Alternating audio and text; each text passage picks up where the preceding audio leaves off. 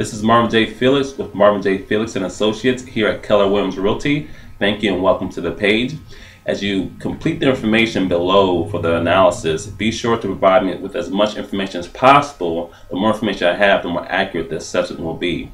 Now, if you're a seller looking to sell either now or in the next three to six months, it may be best to schedule a time for me to come out to your residence to do an in-person evaluation. You may call me at 703-586-3636.